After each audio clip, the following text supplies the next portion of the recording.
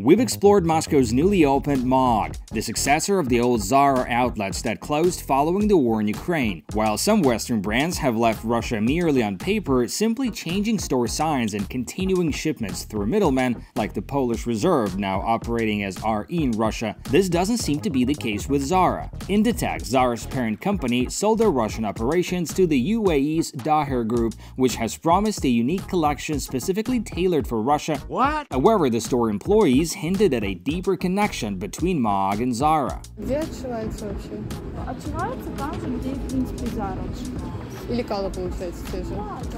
We found a MAAG blue jacket strikingly similar to the one sold on Zara's official website.